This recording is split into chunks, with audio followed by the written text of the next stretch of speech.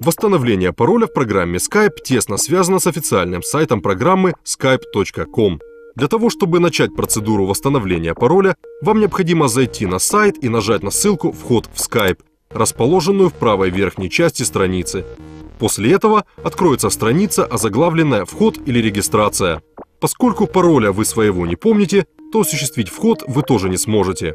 Поэтому под полем «Пароль» нажмите на ссылку «Забыли свой пароль». Появится окно, в котором программа предложит вам вписать адрес электронной почты, указанный при регистрации профиля в Skype. Адрес электронной почты – критически важная информация для возобновления пароля.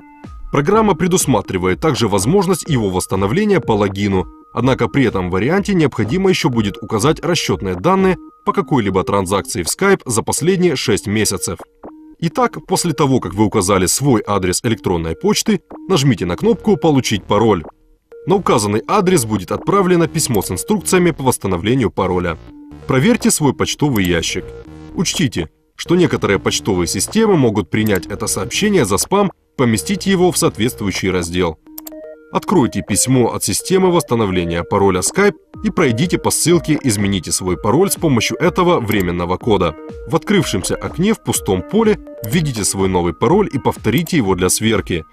После этого нажмите на кнопку «Сменить пароль» и войти в Skype. Система примет новый пароль, а на сайте программы откроется страница с уведомлением об успешном изменении пароля. Теперь вы можете входить в Skype, используя новый пароль.